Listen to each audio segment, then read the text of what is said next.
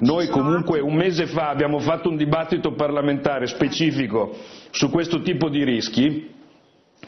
e Gentiloni, e Gentiloni alla Camera ha rigettato in tutto e per tutto tre punti di una nostra risoluzione che guarda caso adesso diventano invece l'agenda di governo. Quindi, come direbbe, come direbbe il buon compianto? Montanelli, eh, comunque sono arrivati con un certo anticipo sul previsto ritardo del- delle, delle azioni che sarebbero state effettivamente quelle da mettere in campo già un mese fa, quando si è evidenziato il rischio libico. E invece qui mi sembra che non ho ben capito se a questo punto c'è una carenza di informazione da parte dei servizi nei confronti della catena di comando del governo o se c'è una, invece una, come immagino, una sottovalutazione dei rischi da parte del governo che arriva sempre in ritardo. Cioè non riusciamo Non mai in qualche modo ad anticipare, anche perché